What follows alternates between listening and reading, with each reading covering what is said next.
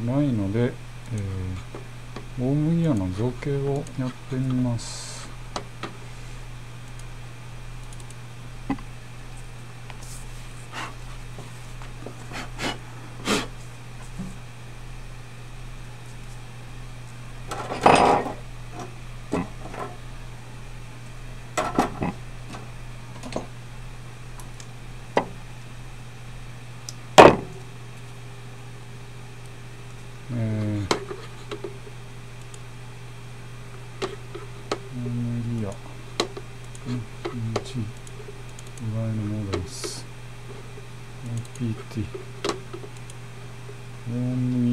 ですねこれですね。よいしょ。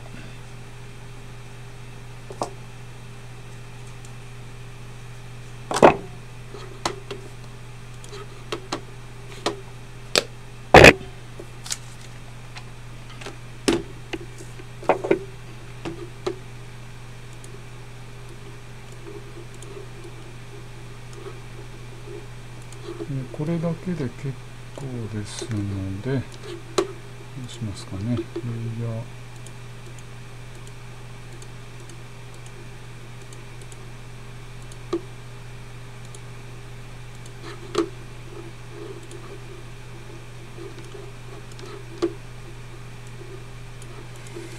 えっと。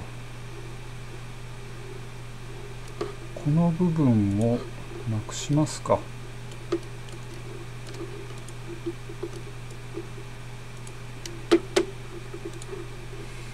どちらにしてもこの穴あんまり必要ないんですね。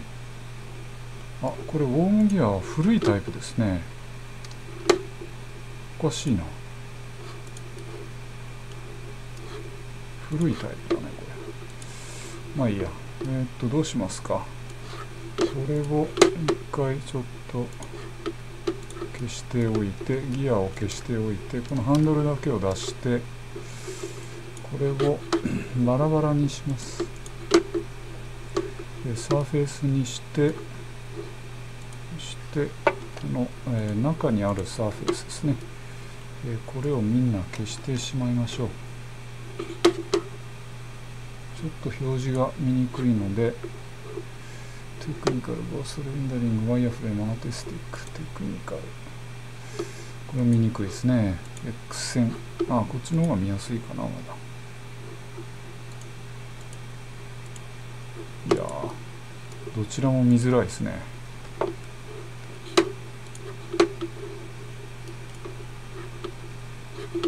ー、っとここからこういうふうに選ぶと全部が選択できるでしょう。そしてこのサーフェスを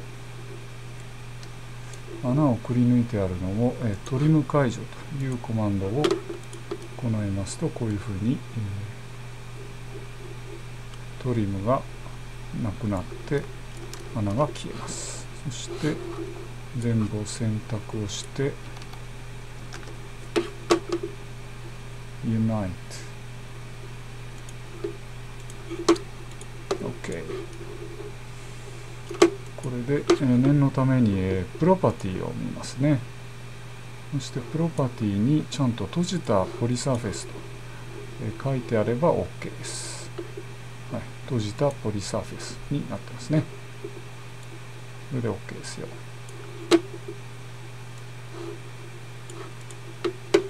そして、え今はこれを4つ同時にプリントをしたいというふうに言っているわけなので、えー、プリントの平面をですね作りたいと思います。120 120、120のこの造形プレートの大きさを造形プレートの大きさの、四角形をまず作りましてそしてこちらにコピーをして、これをここに、一度に造4つ造形できるように、えレイアウトしたいと思います。できるかな？できますかね？ちょっと待ってくださいね。これの、え、対角で、え、線を引いて中点。ですね OKOK そしたらですねこれを4つ同時にやりたいのでいやどうしようかな。5個とかできますかね。まあいいや。うん、と。感情配列ですね。で中点を選んでアイテム数を4とするとこんな風に重なってしまいますね。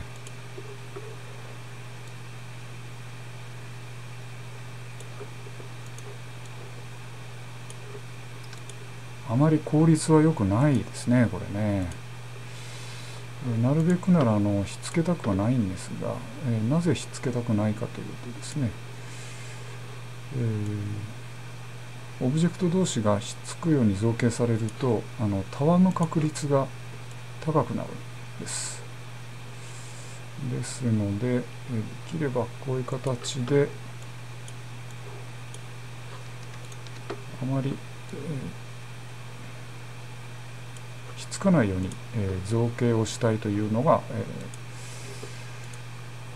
ー、狙いなんですがなかなかちょっと難しそうですね。いやこれでじゃあ造形をしてみましょう。この4つを選んでえそして STL で書き出しということをやっています。選択する、えー拡張子はもちろん STL ですね。ですでにあのウォームギア、えホルダー、えハンドルというのがあるので、これ1個だけなんですが、4ハンドルというふうにして設定をしましょう。0.1で十分ですね。OK。そしてバイナリーでで、えー、これをアップ 3D のを動かすソフトの方に読み込んでいきます。ウォームギアフォーハンドですね。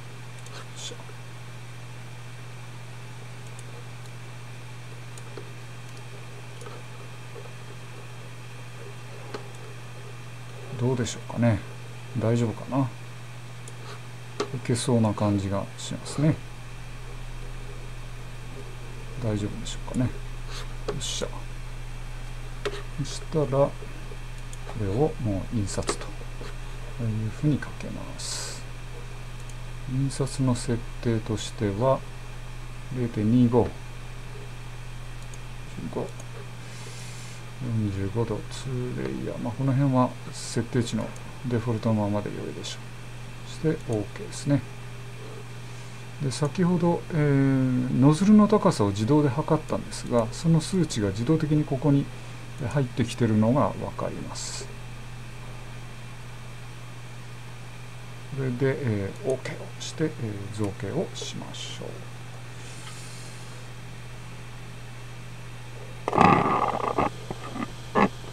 しばらくすると造形が開始されます。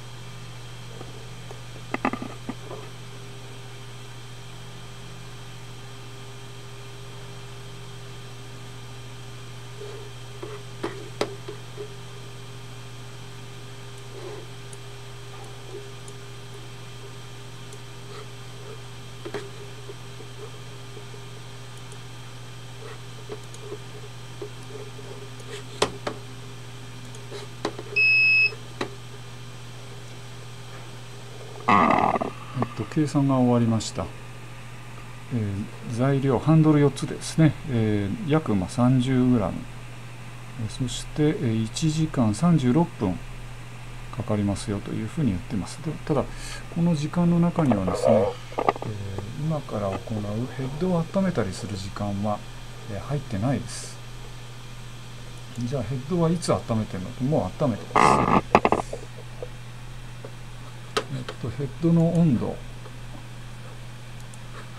ヘッドとそれからプレートですね。の、えー、造形プレートの温度を、えー、測る。教えてくれるウィンドウがありますのでこの数値、えー、ステータスですね。ノズルが193度今上がりました。でプラットフォームこちらの造形するプレートの方ですね。これが、えー、両方とも現在加熱中であると。そして温度が少しずつ上がっているということが分かります。大体このノズルが260度くらいになると造形が始まります。カメラをプリンターの方に向けます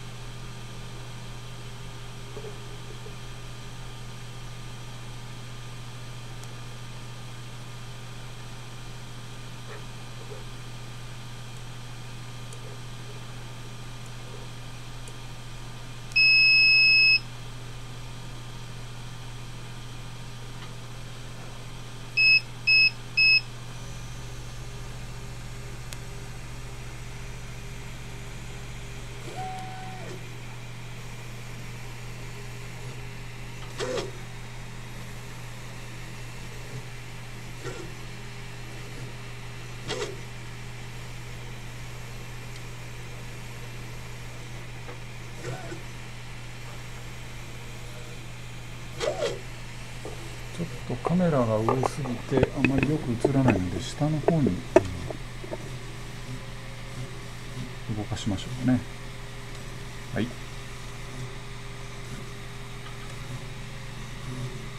昨日の夜は、えー、プレートに、えー、当たりすぎてですね、えー、ノズルがこすっていく音がしたんですが、え今日は全然そういう音はしません、え先ほどの、えプレートの水平調整ですね。これがうまくいっているということが分かります。非常に便利な機能ですね。じゃあまた出来上がった頃に録画をお届けします。